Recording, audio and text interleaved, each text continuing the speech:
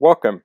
In some previous videos I talked about setting up SSH on a Mac um, and I've talked about using a client on a Mac. I've talked about using a client on Windows 10.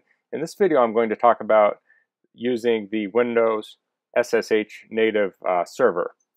So in order to install that you want to go down to your Windows icon. We'll go to settings and this may not be in every version of Windows 10 so you may need to upgrade if you don't see this. We'll go here to apps We'll go to optional features.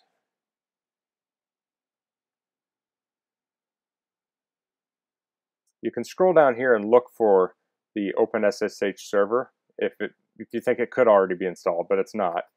So I click add a feature here and I'll scroll down to OpenSSH server. I'll click on this and I'll click install.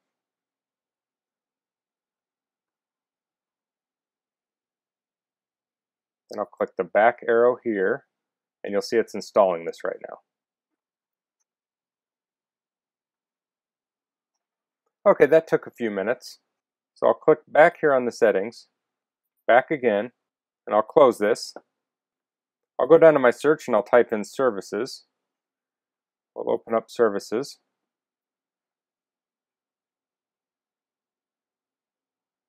And we'll scroll down here and look for the OpenSSH server.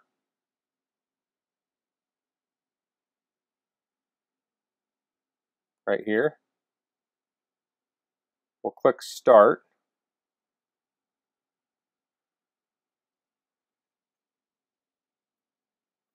We'll right click on this and go to Properties. And we want to go to Startup Type and say Automatic. We'll apply that and we'll say OK and we'll close this down. Okay, so now we'll go down here and we'll open up a terminal and you can type in ipconfig to find out your IP address. You can see here mine is 192.168.7.195. So I'll type SSH space rick at 192.168.7.195. I'll hit enter. It'll ask if I want to continue. I'll say yes. I'll type in my password. And now we're logged in. So I was logging into myself. I did go to another machine and check, and I can log in it from it too. So you, if you have trouble logging in, you may need to change your firewall settings. So you want to make sure you allow incoming uh, access to port 22 if that's an issue. So that's the basics of setting up the Windows 10 native OpenSSH server. If you have any questions, please leave them in the comments. If you like this video, please click like.